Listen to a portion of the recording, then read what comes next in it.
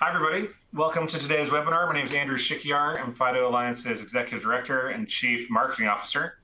Uh, we're here today to talk about the FIDO device onboard specification. This is FIDO's IoT um, spec that we announced intention to launch um, just under two years ago, and, and, we're very pleased to have launched this and uh, to have all of you here today to learn more about FIDO device onboard.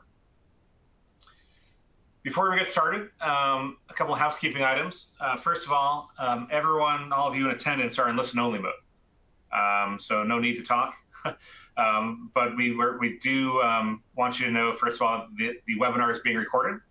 That's always a popular question. This will, will be recorded as soon as it's posted and, and archived.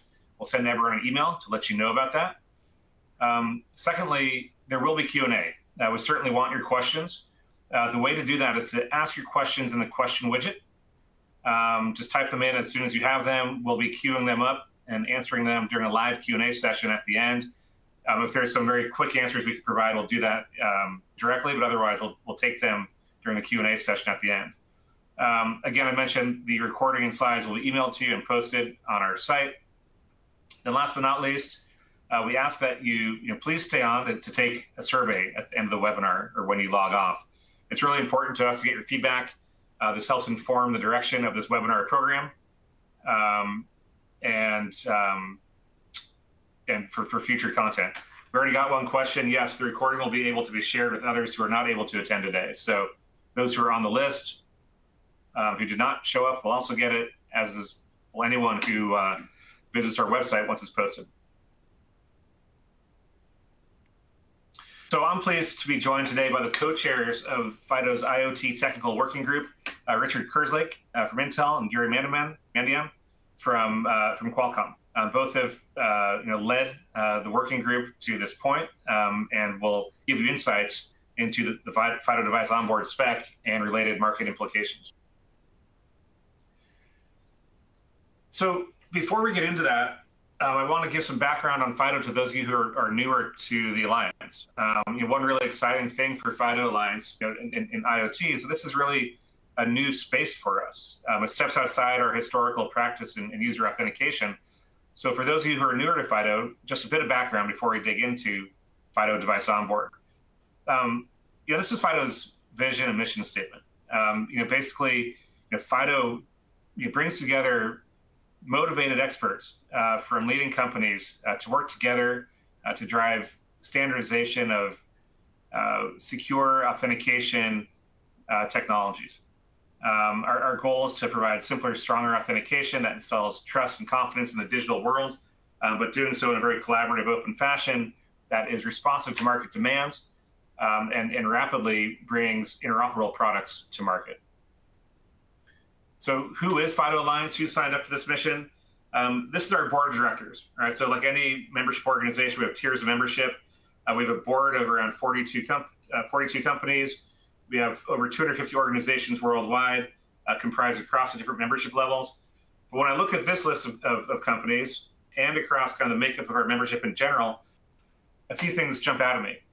Um, first of all, you know, we have the right companies sitting around the table, right? So our focus initially has been user authentication, um, and that's why this, this, this composition is so important. We have the companies that you know build the platforms and devices that are shipping at massive scale, um, contributing to FIDO Alliance. Uh, we have experts in security, identity, biometrics, now IoT, um, helping you know, provide you know, technical expertise. Then, last but not least, we have the service providers whose businesses you know, are dependent upon our ability to deliver you know, high assurance services to billions of users worldwide, uh, both for consumer services and now, as we look at IoT, um, you know, through devices that will touch uh, millions or billions of users. Um, so this is who comprises FIDO Alliance. This is who drives. This, this, these are the organizations that identify the use cases and drives development of our specifications. And you know, one reason why FIDO decided to take this work on is that not only do we have the right companies in the room to look at IoT, but we also have a successful track record of collaboration. Um, and that's resulted in, you know, in a pretty rapid period, in around eight, eight plus years, eight to nine years, you know, three sets of specifications released on market and widely adopted.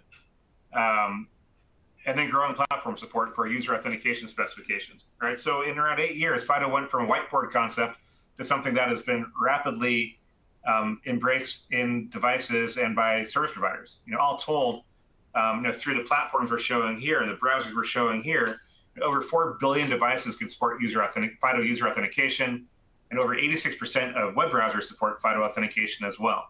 Um, these are important data points in general as you think about deploying FIDO authentication, but also important to think about in the lens of, well, can FIDO be successful here? And we feel like based on this track record, we have been, and we absolutely can be and will be in the IoT space as well. And these are the companies that are, you know, these are these are representative of the types of companies that are deploying FIDO today, right? So big brands uh, spanning industries and borders and use cases from consumer to payments to enterprise to embedded. Um, you know, this is really a strong validation that not only is FIDO able to, um, you know, identify and develop specifications, but that they're market ready and, and they're being utilized at massive scale today, and that that's only growing as we move forward. So that's the background of FIDO. You know, that's kind of the the, the impetus or the, the heft that we bring into this effort. Um, so with that, I want to turn things over to Richard uh, to talk in more detail about the FIDO device onboard activity. Thanks, Andrew. I mean, first thing uh, off, maybe we should just start about, you know, what is the problem we're trying to address here? And I think this is a, a, very simple data point that really just says, based on survey data that was carried out a few years ago in 2017, we actually asked people how long does it typically take to manually onboard a, a device, be it a gateway or a sensor, to their solution, to their platform. And the answer we got was roughly 20 minutes a device. So you do the math and even for 10,000 devices, very quickly you realize this runs into several years of effort. Obviously, scale that to 100,000 devices, a million, let alone a billion. And you realize that even from a, a resourcing viewpoint, from a, uh, from a sheer cost viewpoint, this is clearly not the ideal place to be for the expansion of IoT. So, solving this problem really actually is quite a challenging one. If you want to automate the process of onboarding IoT devices, you have certain unique challenges that are somewhat unique to the market. The first thing is the IoT market, by definition, is very diverse. Diverse in terms of hardware, from devices running microcontrollers all the way up to running kind of high level server class processors and then operating systems. You may have something that's a classic real time operating system. You may have Windows, you may have Linux clearly most of the devices you're actually onboarding by definition you know don't have displays. So that in itself brings challenges. Connectivity varies greatly. It may be wired it may be wireless um, and we've, as we've already talked, I mean, the the process that you're looking at today of manual uh, onboarding, um, it's not unusual based on the data we've been shared for the cost of the onboarding to actually exceed the cost of the physical device itself. So you know, when you look at the, uh, customers are looking at the ROI for their program, really this onboarding task, you know, becomes more than just a, a, you know a roadblock. It's really a source of quite uh, high level friction, both at the financial level and at the resource level, in terms of deployment as well. And then you know certainly last but not least, there's a certain innate assumption that whoever is installing the IoT device requires trust, and that's physical trust, meaning they're allowed to be in the premise of where they're installing the device, but also, you know, th- in terms of things like network trust, credential trust, and obviously, who knows, maybe they leave the company. Uh, you're looking at potentially a disgruntled employee, and that in itself opens up a wide range of issues. So there's a number of things here that need to get solved. So the obvious question, I guess, is you know what are the alternatives before even Fido started to look at this problem? You know, could it have been solved um, using existing technology? Well, I think we talked about manual onboarding there. Really, clearly, it's slow, it's insecure, and it's expensive. So I don't think that's the way forward, even though it's the way we've been doing it for the last few decades. Now, you may say, well, hey, I've seen some solutions out there that claim to be zero touch. You know, what's the issue there? And I think the challenge is, is that most of those, number one, are proprietary solutions, which means they're really either linked to one particular cloud platform. And obviously, you know, that's great if you're only going to load devices onto a particular platform, but maybe you're looking at an ecosystem where you need to be able to purchase the device and load it onto any platform. I mean, it could be multiple uh, cloud service providers that you're working with. It may be on premise, it may be off premise.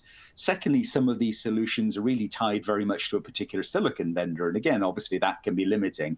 Um, and then the last one, we'll come back to this in a minute, is that many of the solutions that do exist today, they work on the assumption that you know which platform you want to onboard to at the point of manufacture.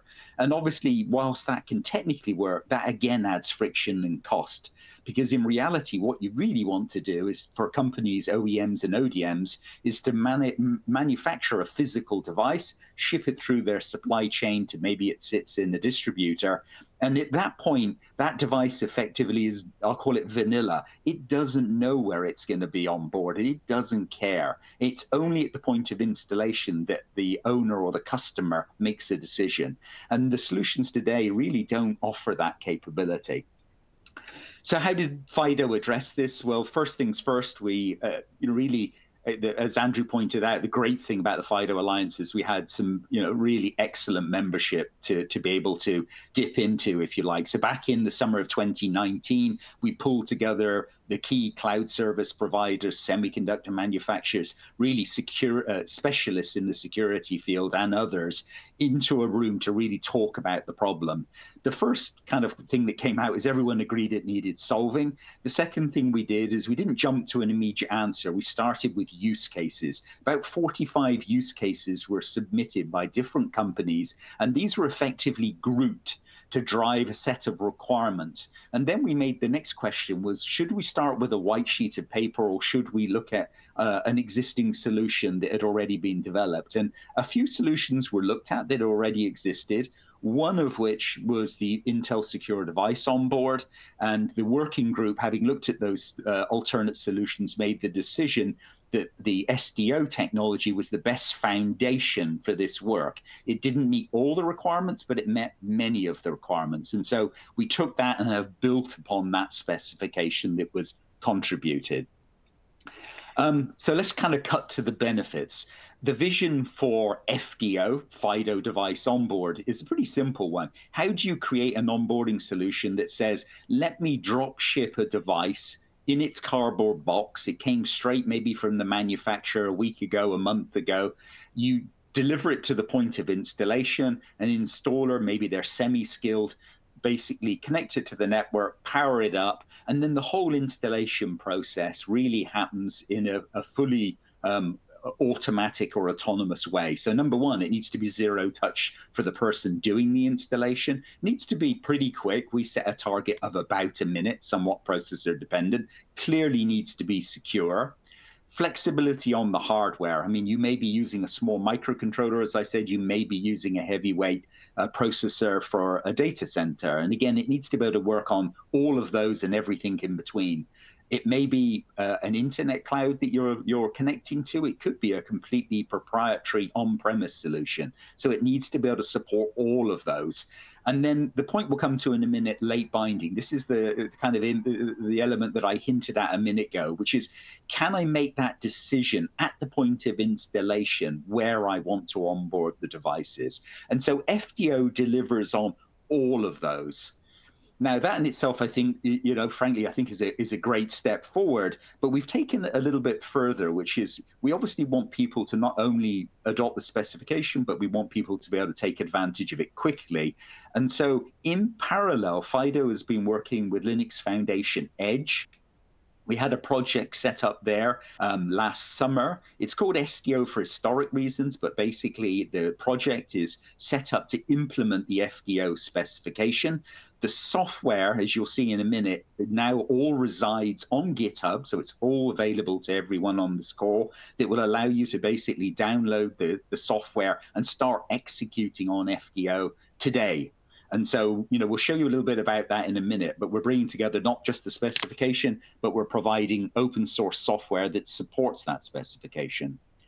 I mentioned this, so I won't, you know, really uh, belabor it too much. Um, really call out here to Bill Curtis, who did this slide, and I thank him many times for this. But really, he showed what is it the, from a supply chain viewpoint that you solve with FDO, and the answer is with existing uh, technologies, as I mentioned, they really require that all the credentials be placed in the device at manufacture, which means that you almost end up with a situation where every customer has their own unique SKU.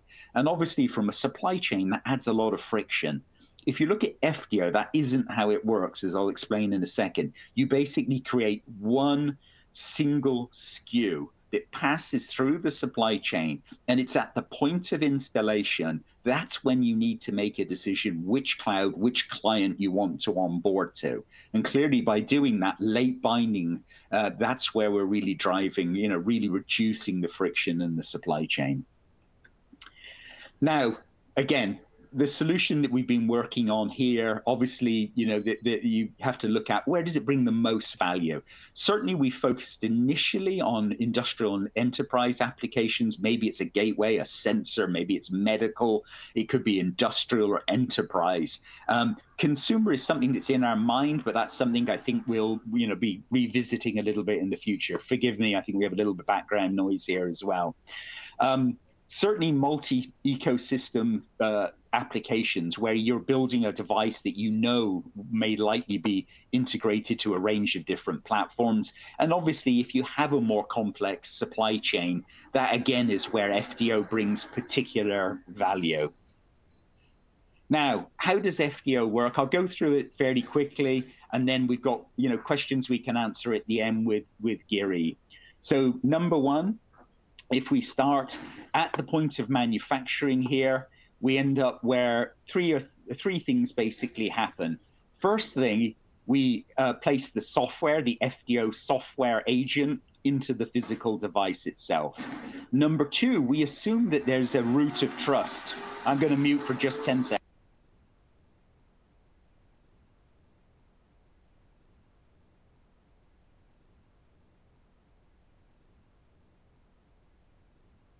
Sorry, folks.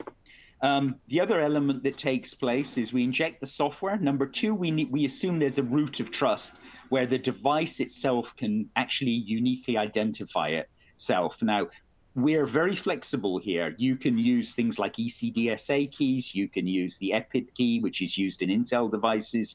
You can store it inside the file system. You can store it with a secure element. You can use the TPM. So lots of flexibility on how you do that. This means that you can use FDO on products you may have designed three years ago or five years ago, or ones you're working on today.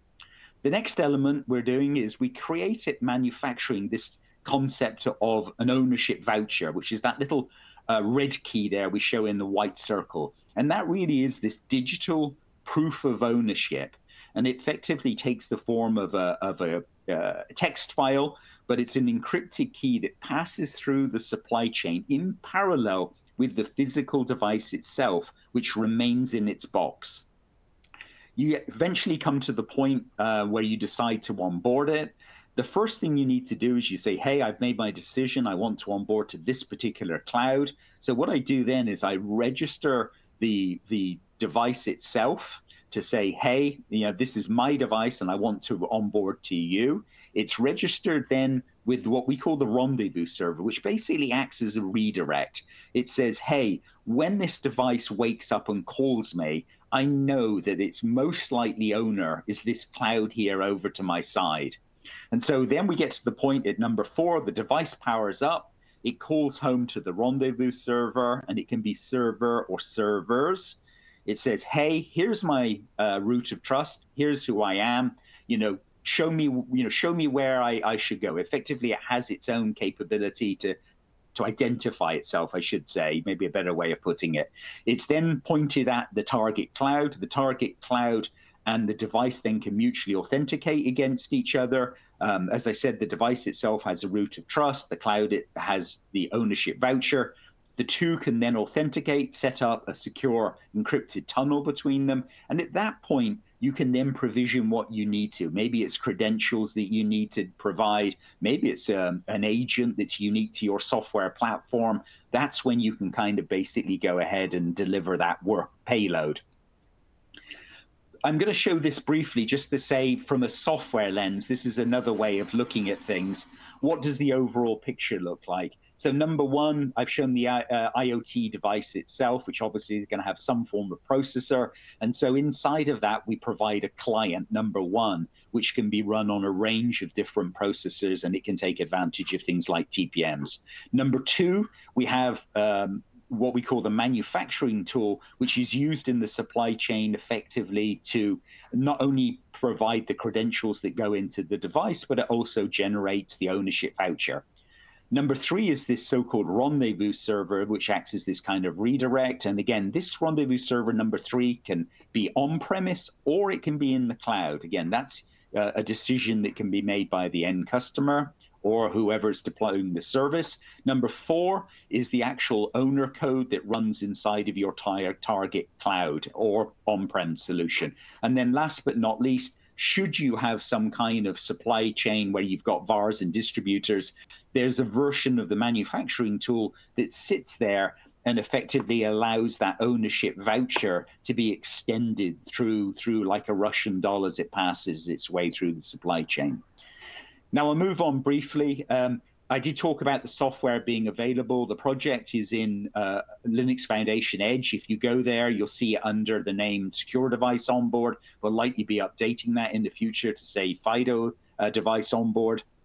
You'll see the software. Just a quick uh, data point. Right now, we have alpha code up there, but we expect to have a full production release kind of late summer this year. So we're really not at all far away. So with that, I'd like to hand the hand the presentation over to Giri, and I'll I'll mute. Hey, thank you, Richard. Um, and uh, by the way, I've been trying to answer questions on the chat, but I'm going to, uh, but um, I'm going to have to move away from that. But I mean, we are going to have uh, time to also go through the questions on chat uh, during the Q and A session. So I appreciate uh, all the interest that the audience is showing. So our goals for the upcoming year are threefold. We're planning to drive industry adoption uh, by continuing our efforts to build uh, uh, to, to build an ecosystem across end users, uh, OEMs and ODMs, original equipment manufacturers, original device manufacturers, uh, semiconductor vendors, cloud service providers, uh, and, and, and, and, of course, finished product vendors. We also intend to launch a, a launch certification programs uh, later this year, which I'll talk about in just a second, um, uh, starting with uh, functional certification, interoperability uh, validation, and then moving on to security certification. And then we'll continue to work on the next generation of the standard uh, based on implementer feedback and uh, addressing additional requirements that are that that are brought up as we as we start to see the FDO ecosystem develop. So I'll speak a little bit about certification and security. FIDO has an established security certification program for all the existing FIDO authenticator specifications. FIDO has long has had an original mission of striving towards a passwordless world, and several FIDO standards have been developed in that space. Um, the there's uh, certification levels that have been defined that correspond to what the vendor has determined would be achievable security assurance and what can actually be verified by FIDO. So there's level one, which is just based on a vendor questionnaire. It's a quick turnaround time, and it's most suitable for, for instance, downloadable authenticators uh, that you might see in an app store. There's a level two authentic uh, uh, certification, which is based on design documentation provided by the vendor, but verified by a accredited third-party certification lab. And usually that would be more suitable for authenticators developed in a trusted software environment such as ARM Trust Zone, which I noticed was actually uh, uh, asked about specifically in the uh, chat questions. then finally, level three, sample device uh, is submitted to a third-party lab for not just verification of the design, but also additional penetration testing by the certification lab. And this would probably be more suitable for authenticators in, uh, who, that are instantiated in uh, hard, hardware environments that provide high levels of security assurance. So, for instance, secure elements, TPMs, and the like. So,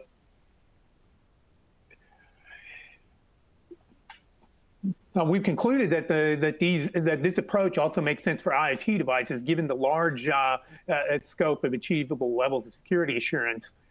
Um, we see IoT devices that range in the low cost uh, uh, uh, in the in the uh, in the low cost domain. These are simple devices with uh, oftentimes limited crypt, uh, cryptography capabilities, no isolation of the hardware software that's involved in critical security functionality um, that's required for onboarding.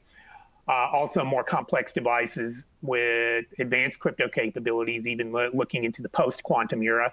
Um, there's also uh, full isolation of security impacting software and you know, even special purpose hardware for, uh, for all the uh, necessary operations related to onboarding and also uh, also other uh, other security sensitive operations. So FIDO is actively developing interoperability and security certification programs, and as I mentioned before, we expect a rollout of these programs by the end of the year. And these security certification requirements will be assessed against regional regulatory requirements. FIDO does recognize that there are several uh, regional regimes that are, be, that are being developed and announced. Um, FIDO does have a long-standing history of, of, working directly with a lot of the uh, regulatory bodies uh, in, in, all, all over the world. And then also I'd like to mention that existing FIDO security certification also leverages what we call companion programs, such as the protection profiles defined, defined for common criteria. now we know that there are several IoT security certification programs that have been announced uh, in, in, in, various venues, and FIDO expects to leverage uh, at least a subset of them as potential companion programs. So in summary, FIDO Alliance has a successful track record of bringing standards to market that has been uh, seen in our uh, in meeting our original mission of a passwordless world. We have several uh, authenticator standards that have not only been uh, that have not only been standard standardized, but have an active ecosystem and uh, and are in use today. And the FDO standard has taken that a step further, and we have now taken our passwordless mission and applied it to the challenge of secure onboarding. And the other thing to the other thing I'd like to point out is that FDO has been driven by cloud semiconductor and security leaders. So if you actually go and download the FDO specification, which is publicly available, you can see uh, that the uh, co-editors run the gamut of the IoT ecosystem, all the way from security manufacturers to finished product vendors to cloud service providers uh, who uh, who are putting up uh, who are putting up cloud systems that the IoT devices will interact with. As Richard had mentioned before, we have an we have an open source project to kickstart the developer community, and that's hosted by the Linux Foundation, the Edge project. There's alpha code available today, and we're expecting the uh, we're expecting full release by the middle of the year. So you, as I mentioned before, you can download the specification in the Starfire to start using and applying FDO today. And if you're interested in driving the evolution of FDO, please, I encourage all, uh, all attendees, join the FIDO Alliance today. And with that, I'll conclude. Thank you.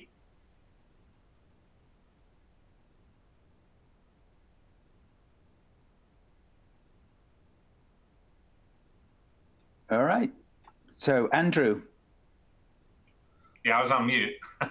I was just thanking you both for for the contents and presentation, um, and, and, thanks also to all the attendees uh, for some of the questions that have come in. So this is our Q and A period now. Uh, just one more reminder um, as we sort through these questions. Um, please do take the survey at the end of this at the end of this webinar to give us your feedback on on what you saw today and what you want from FIDO moving forward. Um, so first question I'd like to ask is um, I, I, see a question here. You know, who's committed to use FIDO device on board? Is, is you know, do we know about early customers, adopters, both on the, you know, on the device side, on the cloud service provider side? And where does this stand today from an adoption standpoint? Mm. So maybe I can help answer that. I mean, uh, really right now, you know, the last year and a half, we've been focused very much on driving the specification and driving the software. But as I mentioned earlier in the presentation, you know, we've really kind of built upon some of the work that was done over the last few years on secure device on board.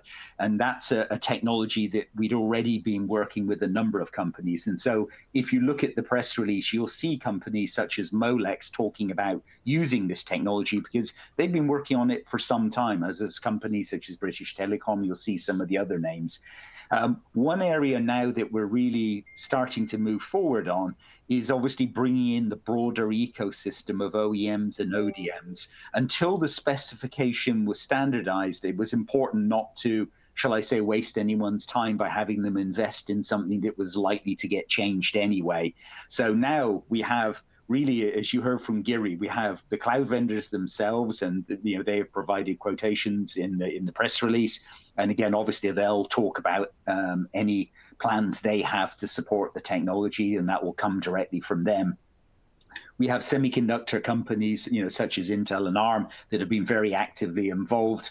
And as I said, now we're moving towards really building the overall ecosystem to bring in the device manufacturers themselves. And you'll see a lot of activity from us in the second half of the, this year, really uh, engaging with companies in that supply chain. I will say that you know there are certainly um, a, a significant number of companies, I would say, that I'm personally involved with that are now, you know, now that they see the specification in place, they're saying now is the time for them to, to get involved. And I don't mean involved just in terms of driving the specification, but actually as in bringing the software in house and starting to uh, deploy it and evaluate it in their application. So I think we're now starting to see that kind of uh, deployment model. Okay, that, that's great. Thanks, Richard. Um, I, I, see a handful of questions about certification, and some of those may have come in before Gary presented those slides.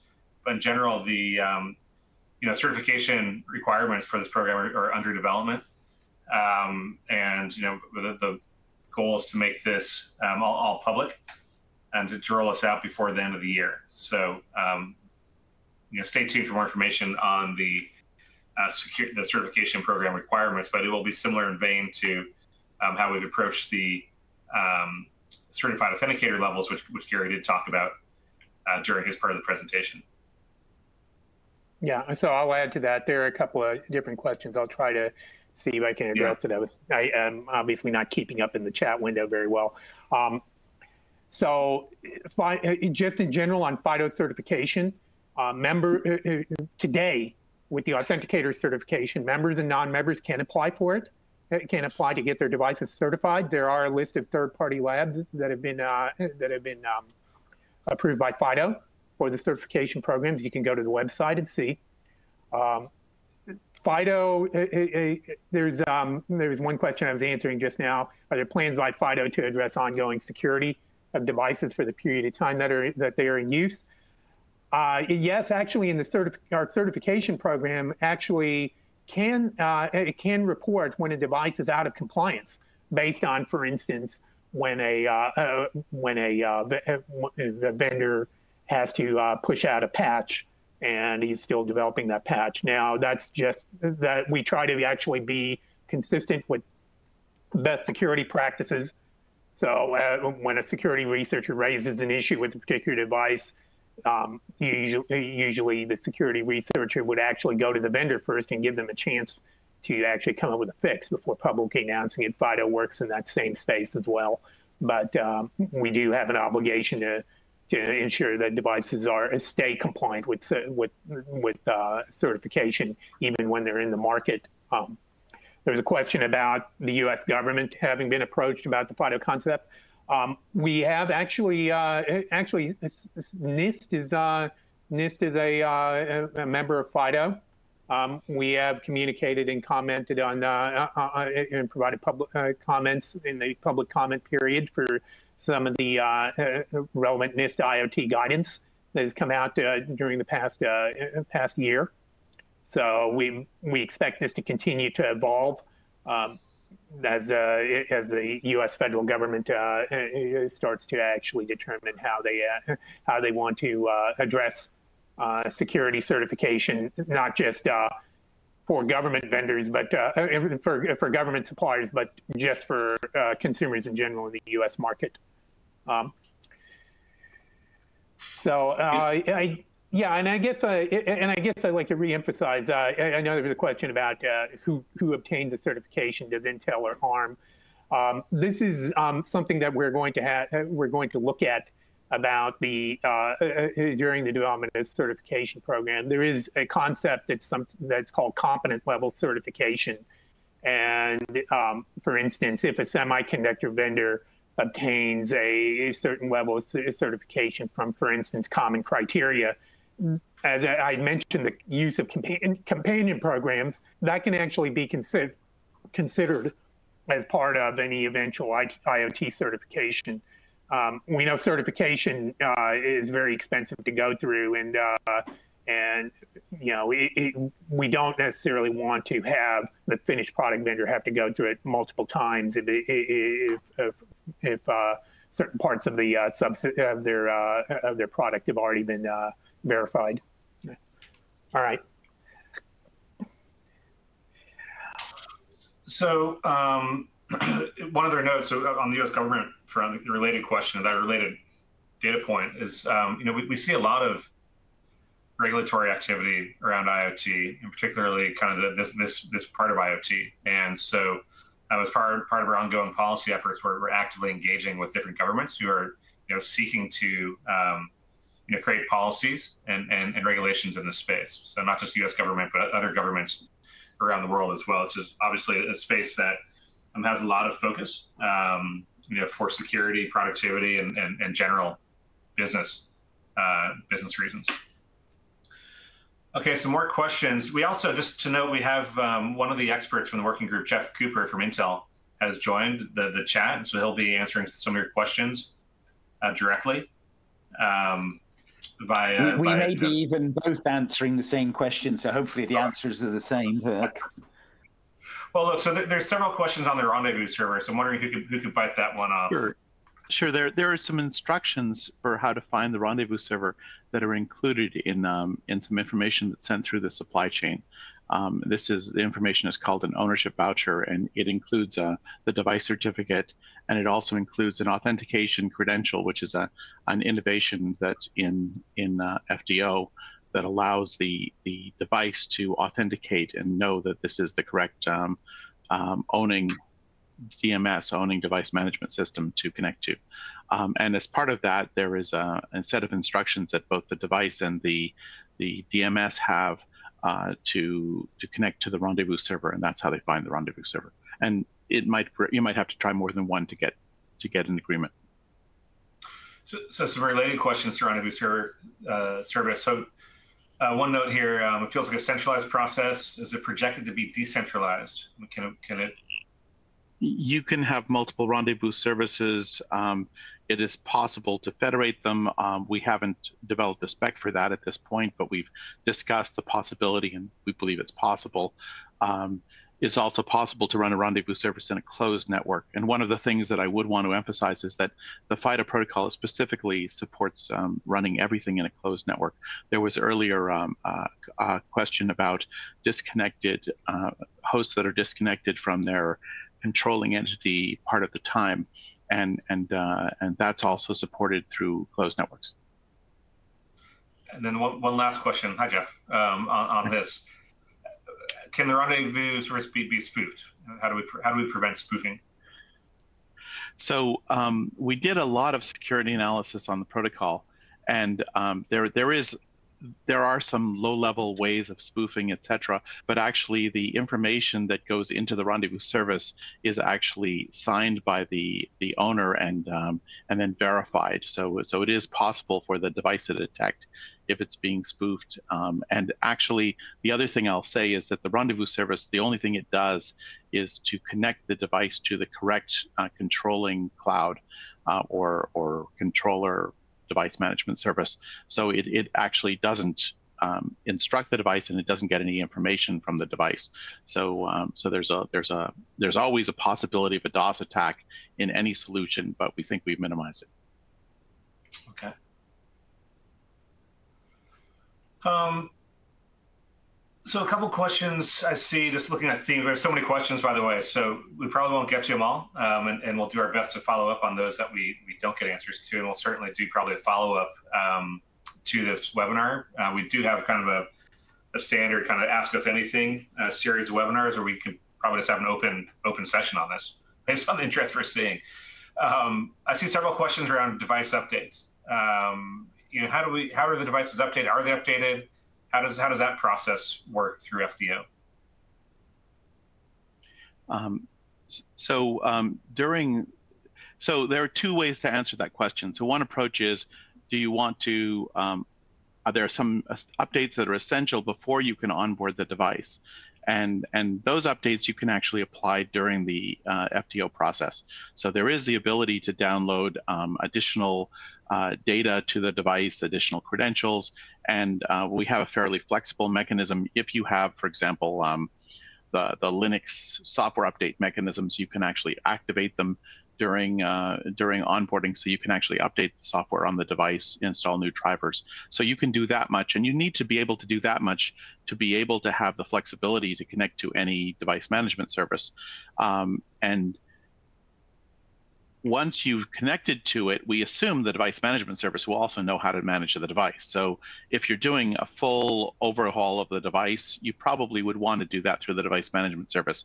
If the device management service needs some tweaking on the device to be able to talk to it in the first place, that's a good thing to put into FDO. Uh, Richard, Gary, do you, do you, see any other questions? Uh, do you see any questions here you want to jump in and, and address?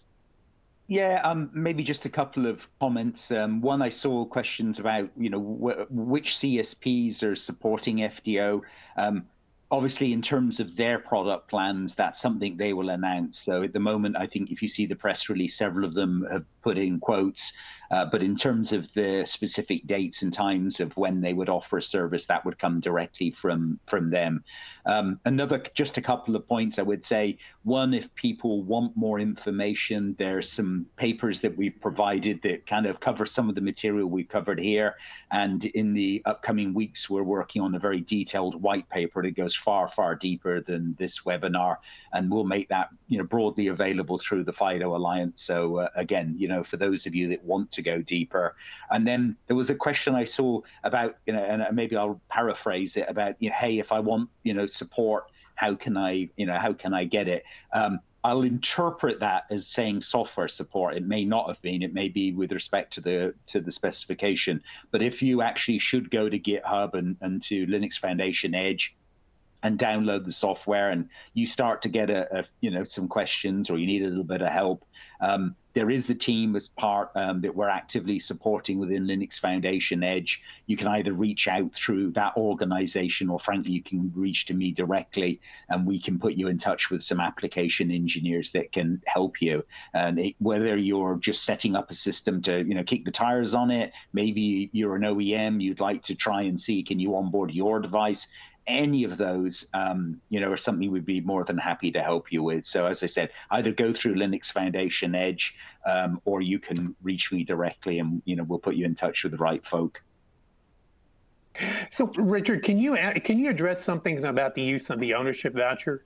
Um, there seems to have been several questions that have uh, popped up in the uh, in the chat window on this.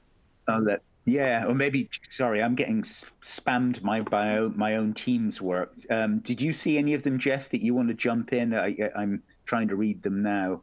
So, so the let me just uh, explain a little bit. So, the ownership voucher is a mechanism by which um, the device gets identified to the the uh, the owner of the device, and the owner of the device can use it to authenticate to the device. And uh, in in um, in in a conventional situation that you see today, the the ownership voucher that that is is in its let's say the that would map to the ownership voucher in its when it comes out of the factory. But one of the the things we have in FDO is we have the ability to extend the ownership voucher as it goes through the supply chain and this allows us to decide where the device is being routed. And and you you need that kind of mechanism because you need to have the ability to say warehouse devices or break pallets and send some of the devices to one place and some to another place. We don't think that everyone has to do this. For example, you don't have to do this to FedEx a device from one place to another. Um, but but it's a capability that we think you need to have. And then the ownership voucher is a new mechanism for for authenticating specifically devices uh, in the supply chain by using the supply chain trust to onboard the device.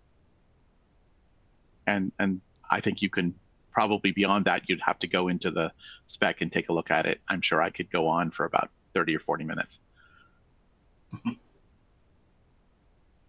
okay. Um, let's yeah. see.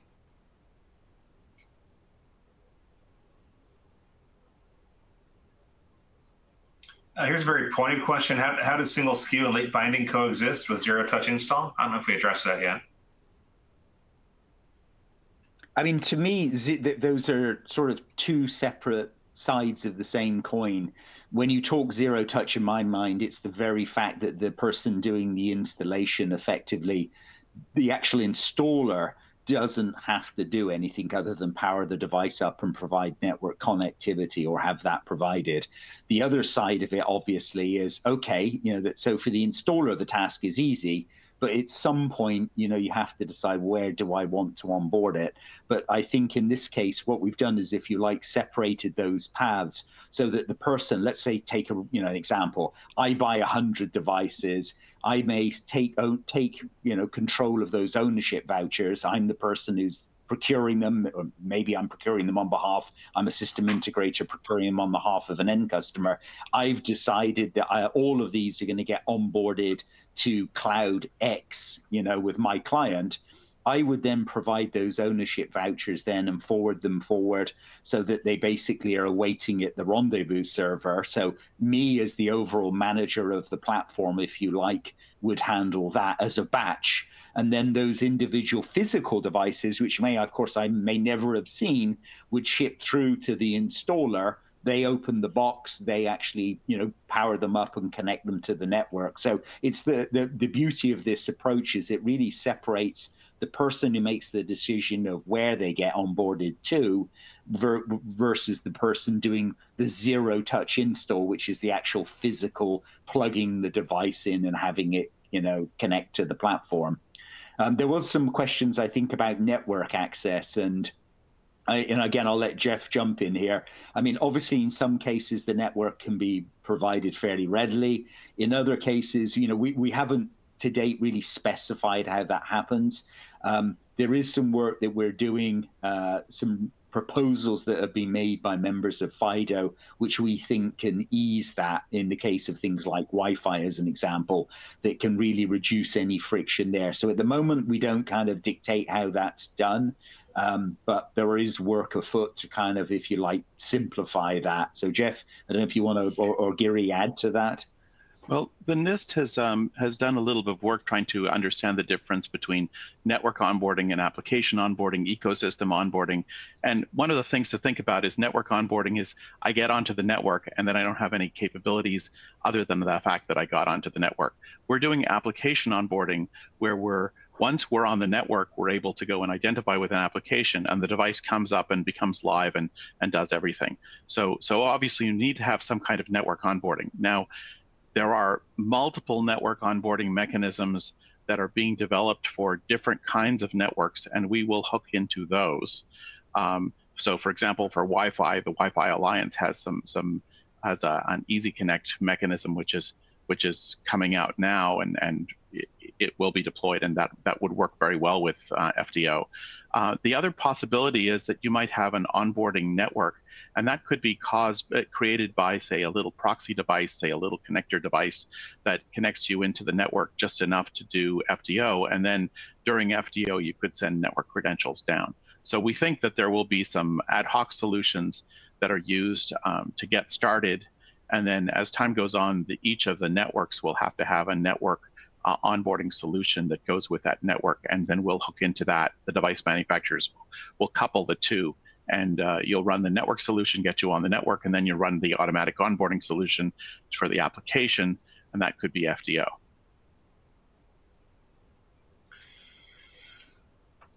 Um, a couple of questions I'll, I'll, I'll, address, and then I'll send one back to the, the, the panel here. Um, see some questions on you know, general like relation between FDO and what we'll call kind of traditional you know, FIDO authentication or user authentication.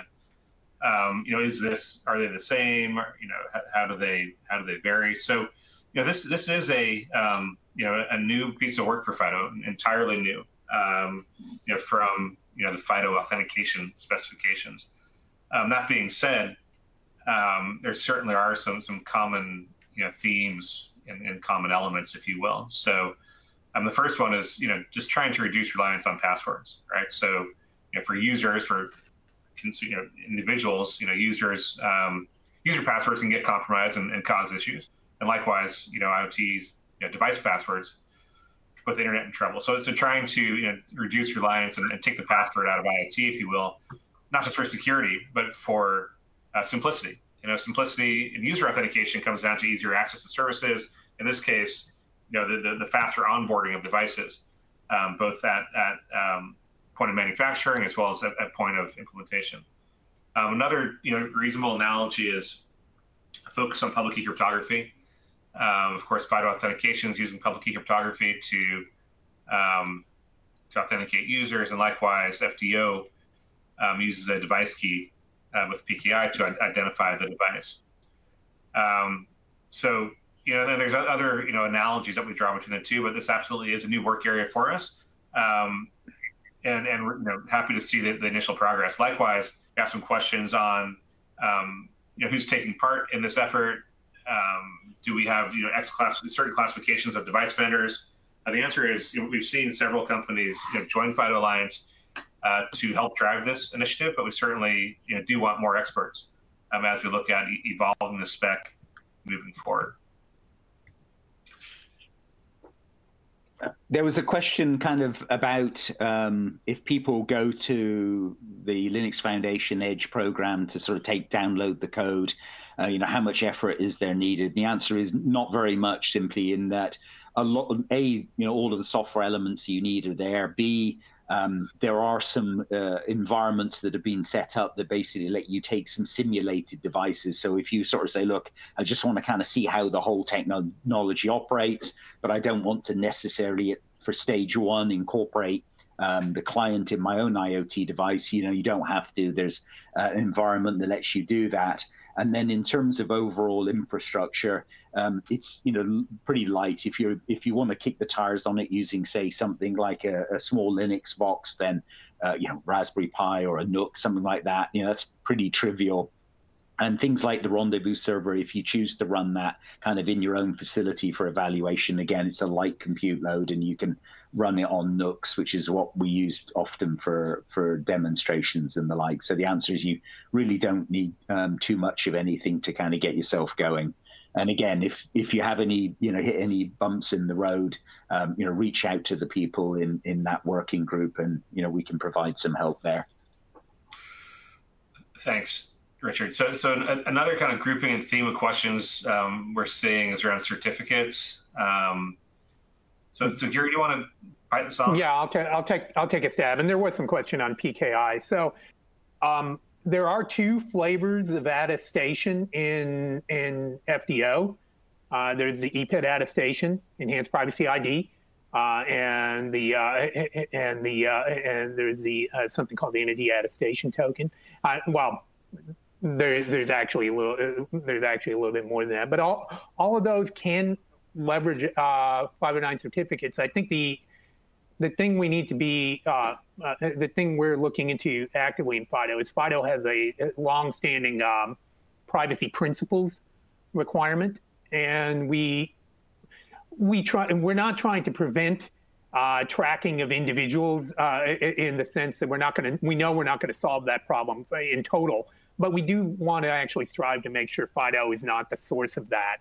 Uh, when an individual gets tracked, we're trying to make sure that FIDO technology isn't the source of that. So there is some, uh, there are some considerations that vendors can take in that direction. For instance, if a uh, if a certificate is individualized to a device, that may be something that you may want you know, after onboarding is, has taken place. That may be a certificate that uh, that should be replaced, so it's not used to track the owner um, because we know that devices could go through multiple uh, multiple different iterations. use, one user could take ownership of the device, take it to factory reset, resell it. Then another user could take ownership of the device. We don't want those breadcrumbs to be following them. And that actually goes back to our original uh, use cases that uh, that we discussed earlier in this earlier uh, in the presentation as the founding principle for starting this whole effort.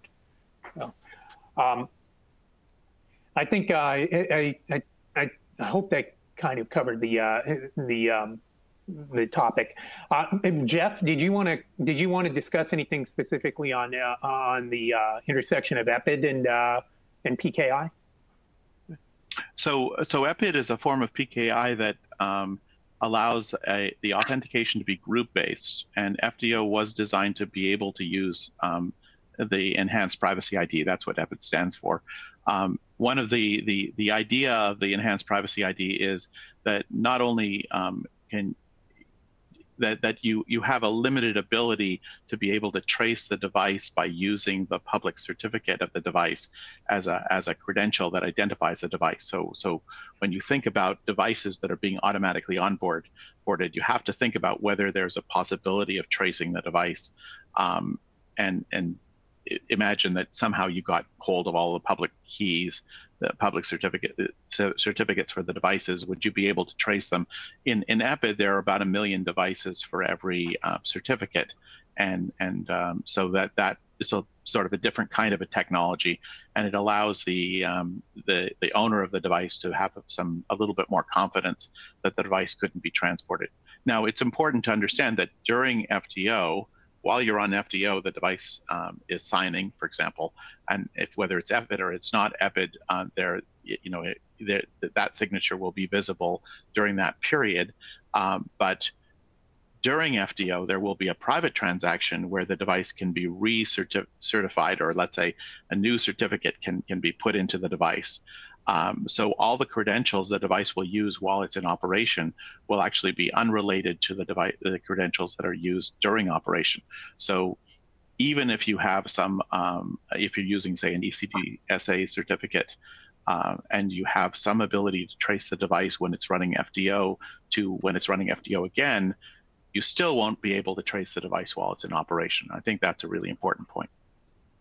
Mm. Jeff, one that sort of uh, adder on to that, I noticed one person was asking the question of, they were questioning, hey, do you need to know who, at manufacturer who the end customer is so that you can, the question is, can you con- to configure the ownership voucher?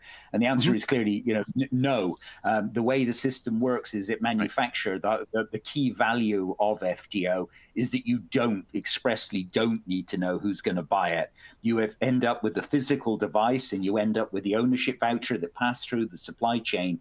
And it's only at the point of installation that you then, the person who takes control of that physical device and that ownership voucher, and you know, yes, it could be a system integrator as an example, they are the person then that then says, "Hey, I have 100 devices here that I'm going to onboard to client number 43 inside mm-hmm. cloud X.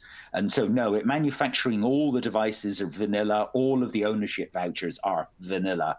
There, there is by vanilla I mean they're not in any way associated to any end user or any end cloud or any end platform.